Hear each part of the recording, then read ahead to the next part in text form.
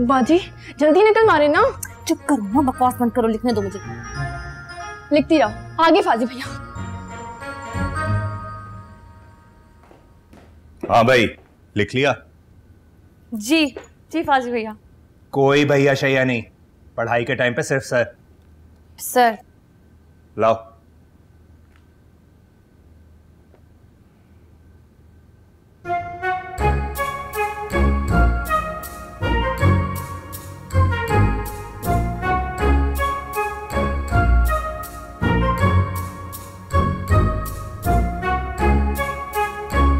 ये तुमने खुद लिखा है?